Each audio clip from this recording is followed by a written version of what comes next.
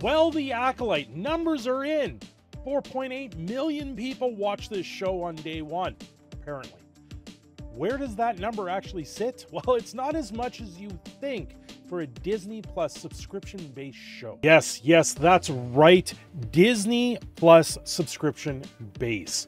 There's about 150 million people that subscribe to Disney Plus. So 4.8 million views in one day is not very good numbers when you look at the overall aspect of it. There's a lot of people that subscribe to Disney Plus. Before we show you all the numbers here, do yourself a favor, subscribe to the channel, keep coming back, keep leaving comments, and like or dislike the videos, it does not matter to me because I'm going to be here as long as I can.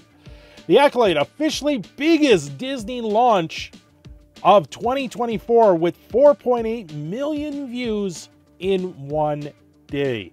Well, we've got some uh, some interesting stuff coming out from that Park Place. Financial analyst calls Star Wars The Acolyte global viewership pathetic and explains that it's only about 3% of Disney Plus subscribers watched.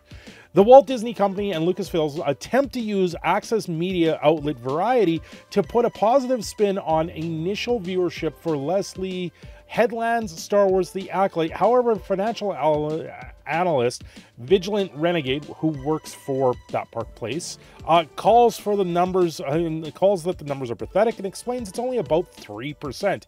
And from Variety themselves, 2024 streaming hit, uh, hit post way to post peak TV IP strategy. And if you scroll down here, you actually get a breakdown of how Disney Plus shows are actually breaking down. And when you look at these, things are not good. You have a real Bug's Life at 2.6%, Percy Jackson's and the Olympians at 23% of Disney Plus right now.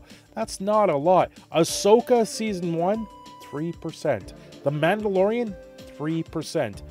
X Men 97, which just came out, at 6.8%.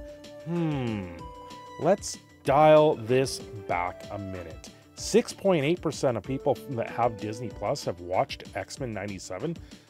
When you do the numbers, it doesn't work out. You want 4.8 million views a day? That's about 3% of Disney watchers. It doesn't make sense. And we can go this another route as well. If you look at Google Trends, you can see how things have gone. This is over the last seven days.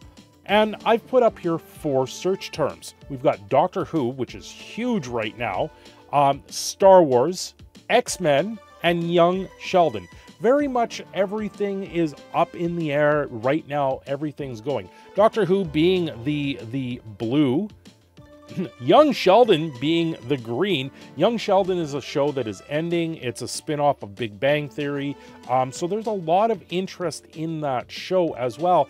And then when you look at Star Wars, they're down here, itty bitty bitty, right below X-Men, which X-Men 97 has a bigger share of the subscriber base for Disney Plus.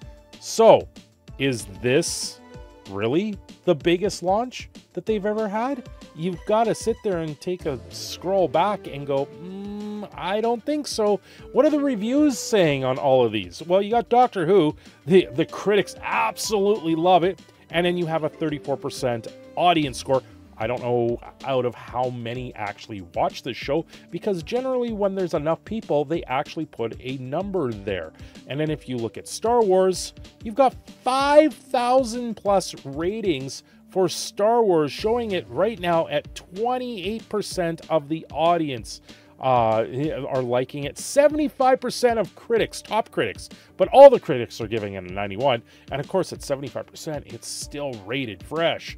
That that's Star Wars for you. X-Men 97. Well, this actually tells you a little bit more in detail what's actually going on here. You have 500 ratings. Oh, why is X-Men 97, which has 6.8% of the viewership, only have a 500 plus audience ratings for the show?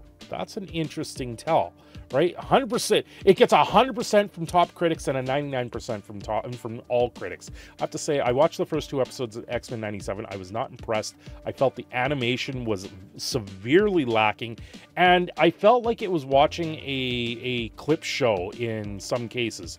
It didn't feel very smooth. The transitions of the show just because of that, I can't force myself to continue to watch this show. Maybe I put it on in the background one days, but I can't sit there and actually watch it. And it's really surprising. Young Sheldon, out of all of these, has no critics. No, no one's rating this show. 83% of the audience. Once again, we don't know what the numbers there are. It's like young Sheldon just doesn't exist. But yet, when you look at the trends, it puts young Sheldon up there with Doctor Who.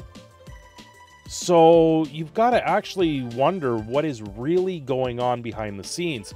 Eh, the news cycle dominates how Star Wars is pushing these things, how they are hating on um, apparently white males from the main actress in the show. When people watch The Hate You Give, what, what do you want them to walk away with? Because I know everyone has a slightly different feeling. Um, well, I mean, white people crying actually was the goal. And it just continues to go off the rails because they're not even they're not even cracking X-Men's numbers right now. And X-Men was above that. So where does this really leave us? Where does that actually sit this show? You know, fake fire in space, we've had starship battles in space where things sound fantastical and of course we're a third person watching the telling of these tales. And a lot of people are talking about how there's always fire in these space battles and things explode. Yeah they do have inner gases that explode out. But when you have a scene where it looks like a campfire is on fire on the side of an uh, of a spaceship traveling through space you don't have wind. These that that that's the main difference here. You don't have the opportunity to things to shake in wind. Uh, it doesn't exist in space the same way. It would be a different style of flame, especially what they were trying to show there for that for that flame. And that's why the continuity it's really a continuity error. And a, a, lot of people sit there and they want continuity and they want something that actually melds together properly. And that's why a lot of people went off on it because they're like this doesn't really make sense. Yes we're talking about a, a people that can move things with their minds magical beings out there in the far galaxy far far away but then it pushes things like uh, apparently the next one is going to have a lesbian based force baby. I don't know how that actually happens, but the force does do strange things. It's just weird to go that route. Anyway, I've been your proud Canadian Phoenix Cindershadow. I'm signing off here. If you like this one, let me know down below. I will see you again very soon. Don't forget to like and subscribe.